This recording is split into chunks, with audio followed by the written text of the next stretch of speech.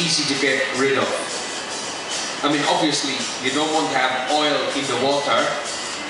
You don't want to have oil anywhere. You should avoid spilling any oil, but if it happens, you can still clean the bamboo shirt rather than having to throw it away.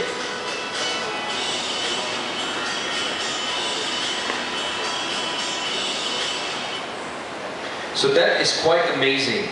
So bamboo doesn't just have this massive advantage from an ecological perspective. At the same time, it's got extremely good performance properties as a textile, as a towel material.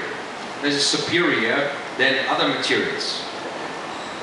So when you compare that with the cotton, the cotton actually uses 10% of the world's pesticides and 22% of the world's insecticides. Insecticides to kill off the insects that would come in. That is usually very nasty chemicals. Some of these chemicals, they go into our food. Some of those chemicals, they go into our water. Even in the Cameron Highlands, I think a couple of months ago, there was a spillage of pesticide and the fish in the local river got killed. If people drop that in small amounts, the fish don't get killed. But the pesticides gets washed away in small concentration, goes into the drinking water, goes into the fish at the same time, goes into the vegetables that we are eating. You know, in Germany, they always do evaluations. There is a green magazine. You can read in Germany which fruits and which vegetables have high pesticide concentration. So in Germany, the supermarkets are very, very concerned that they control their suppliers. Here, nobody measures it. We don't really know how much contamination is in our vegetables that come from the Cameron Highlands with the pesticides. So these are really areas where we should, as consumers, choose products, food, clothes and everything else where we know less contamination, less pollution. If possible, like bamboo, zero pesticides. That's a benefit to the planet and benefit to our health, definitely. And the water, the water consumption is amazing when you do normal conventional cotton. So there you see the team. I think that is um, ah, that, yeah, yeah, yeah, yeah. She came to one of my tree planting events. I know her, but forgot her name. She's been popping up in your store, plus other celebrities. So the challenge when you look at this industry and buying, what is your minimum order quantity? The problem why a lot of the green products are still a lot more expensive is because production small volume and purchasing in small volume. For example, if you get your, I'm sure your shirt that you have there, MTIB, you know, was sourced from a factory that produces tens, hundreds of thousands of government shirts. Now they use the normal cotton, and that means they can do a cheap production, maybe high margin.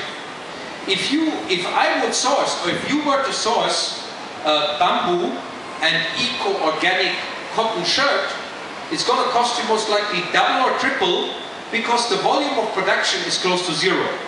So the guy has to start sourcing it from somewhere.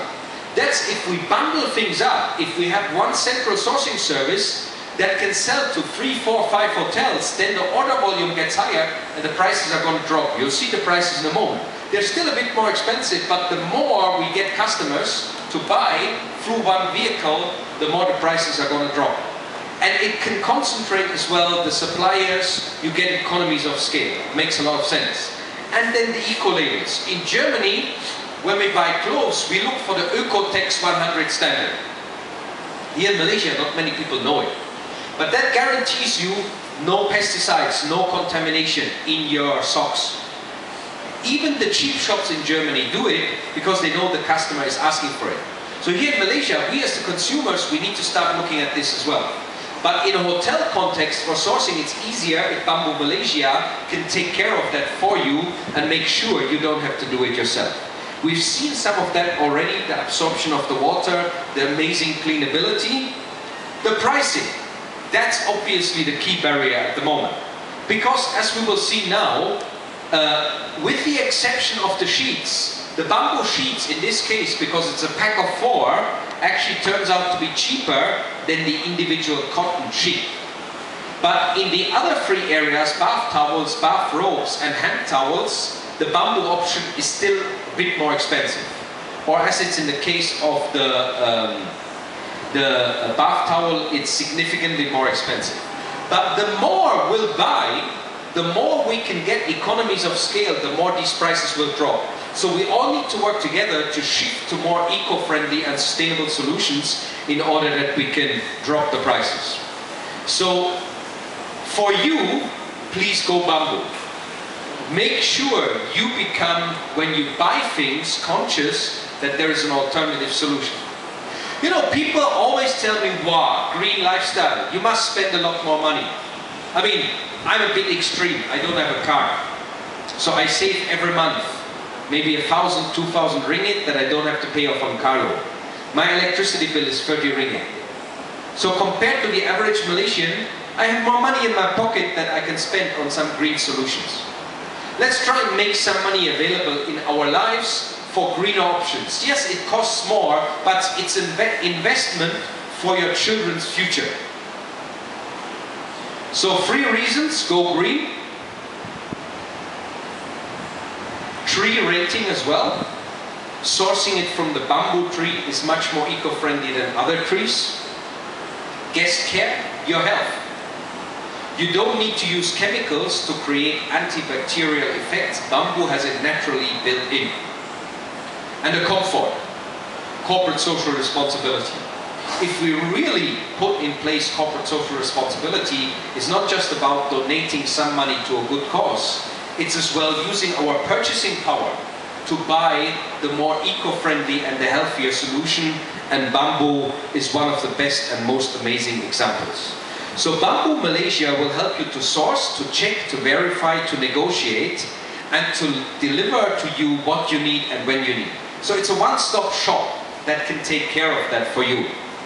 What are the next steps? Obviously, speak to Shaz, Ija about an appointment and uh, go green, go bamboo, put it in place. Try and make a real effort, whether you are representing a company or whether it's your individual lifestyle, to start using bamboo products in your life. Clothes and towels is a great place to start. Share it with your friends. Inspire other people to start using bamboo textile, fiber, and other bamboo solutions as a way of making your lifestyle greener. So there we go, the two contact phone numbers and a big applause for the Bamboo Malaysia team who have done a great job in actually raising our awareness about bamboo in Malaysia and who want to do an even bigger job in making bamboo happen everywhere. And we need all of your help. You all need to help spreading the word that bamboo is an amazing, eco-friendly and healthy product and that we can, if we can actually push it more, then it becomes cheaper and we can create a new economy for Malaysia that is more eco-friendly than what we're using at the moment. So let's all go bamboo, whether on the inside or on the outside. Okay, thank you.